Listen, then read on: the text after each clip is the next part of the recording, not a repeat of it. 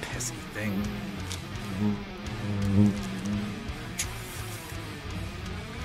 Ah! If you've ever been swarmed by bees and survived, you know it's pretty intense. But how do they not clumsily collide into each other like people do at a heavy metal concert? Incredibly, one company has figured out how to make robotic bees swarm without collision. All of that and much more coming up.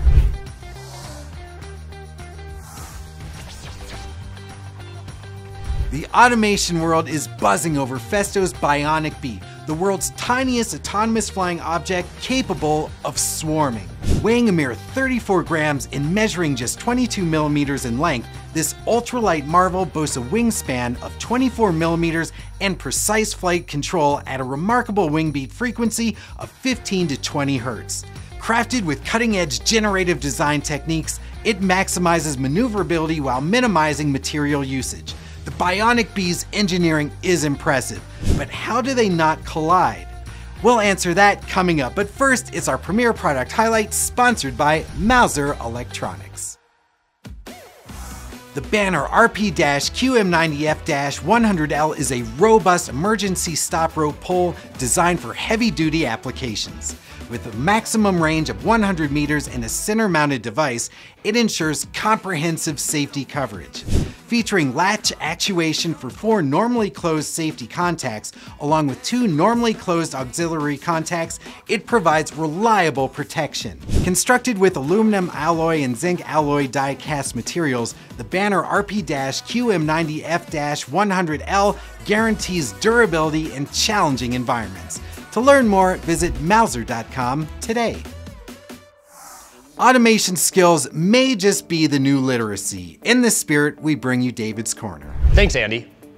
I love working with relays. Here I have two of the most common types of relays that we find in industry. This one is called an ice cube relay, and this one is called an octal style relay. The ice cube relay is a four pole double throw relay, and the octal is a two pole double throw, or a double pole double throw. Each one of these has a set of two contacts that are used for the coil. The coil is the energy that actuates the relay. The remaining sets of terminals are grouped into sets of three, a common, a normally open, and a normally closed. The normally open and normally closed are usually abbreviated NO and NC.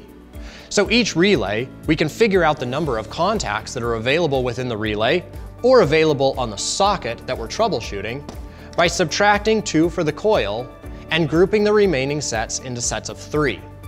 Each one of these relays performs a very specific job, but they're so common in industry that it's really important to understand relays and how they work and to be able to read those terminal numbers so that we can get a better understanding of what wires we need to test to diagnose when there's a problem. Andy, back to you. Swarming may be instinctive in animals, but replicating that behavior in automation is no easy task. So how is it done? The Bionic Bee's swarm's autonomous behavior is enabled by an indoor locating system using ultra-wideband or UWB technology. Eight UWB anchors are installed on two levels for precise positioning. Every bee determines its position by gauging distances to the anchors and referencing timestamps. A central computer specifies flight paths for the swarm, requiring high spatial and temporal accuracy to ensure safety, collision-free flight, and account for air turbulence. Each handmade bee has an automatic calibration function to optimize its controller parameters, allowing the entire swarm to be controlled uniformly despite individual differences. That's going to do it for today. Be sure to check out all of our other Automator's Edge episodes to stay updated with the latest in control automation.